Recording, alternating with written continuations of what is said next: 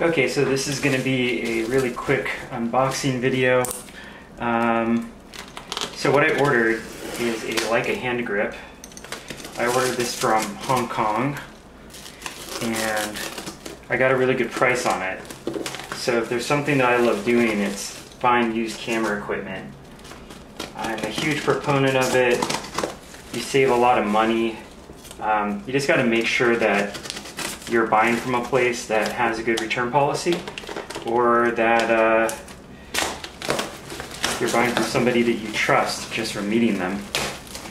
So I've bought used equipment my entire life as a photographer because camera equipment's really expensive and I also have expensive taste and so in order to be able to get the camera equipment I want, I really have no choice but to buy used. So um, a few tips on who you can buy from. You can buy from, you know, um, camera stores that are, you know, specialized in used equipment. Um, like this is from, looks like uh, M&K uh, Kamera in Hong Kong. Um, you can also buy from KEH. You can also buy from the used equipment departments at B&H, Adorama, um, and you can also buy directly from Leica stores. So with this lens right here, um, like I bought this used from a Leica store and uh, actually got a really good deal on it. Um, the Leica store in Bellevue, Washington actually had the lowest price out of anyone and I felt really good about it because they had sent it into the store and they had um, had it recoded and looked at and fixed up so that it was just like new. Um, and I was told that this lens right here actually uh, this uh, the hood here had been dented when it was brought into them and then they sent it into their repair department got it all fixed up and it's just like new. So that's another path you can go. However for this hand grip you know this isn't as delicate as a lens and so it wasn't as important to me that it be really um, in super great condition you know lenses are obviously there's a lot more that can go wrong with them with something like a hand grip, either it's going to work or it isn't. And so if for whatever reason it just doesn't work, I can just send it back. All right, so yeah, this is the hand grip model number 24018. It's for the M10. I got it in black.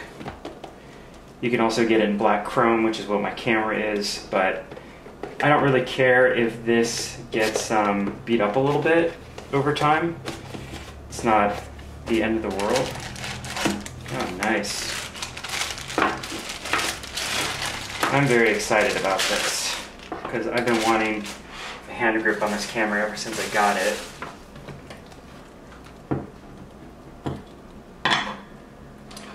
So it looks like you just put this on the same way almost. So it's got this, looks like it screws on.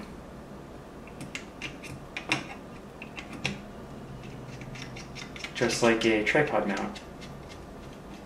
So give it a little bit of pressure so that it'll get in there. There we go. Nice.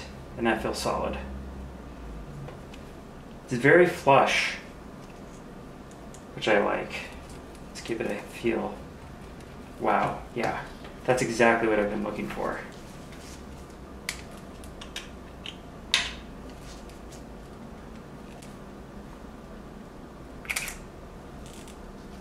Okay, so I'm just going to try and give some first impressions of this. Um, okay. I do think I'm going to have to change the grip that I've been using. I'm to have to change the way that I hold the camera a little bit. But one of the things I really like about it, right off the bat, is that, um, let's just go ahead and take it off really quick and I'll show you kind of how I was holding the camera and how I think it's to change that grip. Okay, so the way I was holding it is kind of like this, right? It's kind of holding it like that. And uh, the problem with that is sometimes my finger here, uh, which finger would that be? Yeah, this finger right here would get in the way of this little viewfinder here. That's what you use for doing the focusing. Uh, that focus square in the middle that's through the viewfinder is actually mixing these two together and that's how you're focusing. And so um, sometimes my finger will accidentally block this. You can realize pretty quickly when you're doing it and, and adjust, but it's uh, it can be a little bit annoying. Um, the other thing is a lot of times I'm sort of uh, doing exposure compensation here. Um, let's see what else. Yeah, so sometimes I'm changing my grip a little bit from this to this. Let's go ahead and put this back on. I can't wait to take this out on a shoot and just see what kind of a difference it makes. Okay, so first thing I'm noticing is uh, it kind of gives me a spot right here to rest that problematic finger. Um, and so I really like that because I'm not blocking the, uh, the focus viewfinder anymore, which is really nice. So I think that that's going to be good.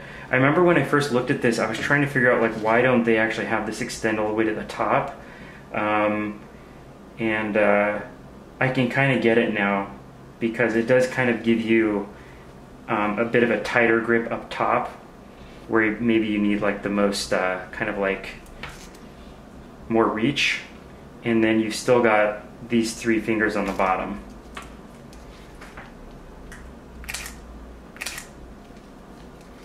And part of me wants to, yeah, I'll have to play around with it a little bit and see what's most comfortable. Because part of me wants to not put the finger up here, but put kind of all three here, and then stretch my uh, pointer finger up to the very top. And maybe that's a more comfortable grip. Um, but anyway, um, unfortunately, I don't have a, a, ton of information on this because this is more of an unboxing video than how I use it video. But I really like it so far. I gotta say, like it's um, you know as expected. I mean, it feels like it's really part of the camera. Um, I really love how secure it is with one hand. I just feel like I can't I can't quite get that grip. The other thing I think I'm gonna really like about this is that I'm about to get a camera bag where this is gonna you know slide in uh, this way rather than being say maybe like face down. And I think I'm gonna really like being able to grab the camera and pull it out of the camera bag and then put it back in easily from sort of like a side angle. Uh, I can imagine that just being a little bit more difficult to do over and over if you have um, just the regular base plate. So anyway, those are kind of some of my first impressions. I will take this out on a few shoots and then maybe I'll do another video about it or just cover it in a video that's about maybe some different things. Um, so actually what I'm going to be getting pretty soon is I'm going to be getting the Leica combination bag and I ordered it in both black and in tan so that I can decide between the two of them. Um, we're still sort of in the middle of a pandemic. This is, you know, summer of 2020 as I'm shooting this. And so um, since I can't go into a camera store and compare the bags, I just um, ordered both of them and then I'm going to return the one that I don't use. But I, I, thought it might be fun once those bags get here to actually do a comparison. Uh, even though it's the same bag in two different colors, but then kind of show how this camera fits into it and do like a quick little demo of um, why I ordered that bag. So something to look forward to, at least for me. All right, well, thanks. This was kind of fun, and uh, I'm super excited about taking this out.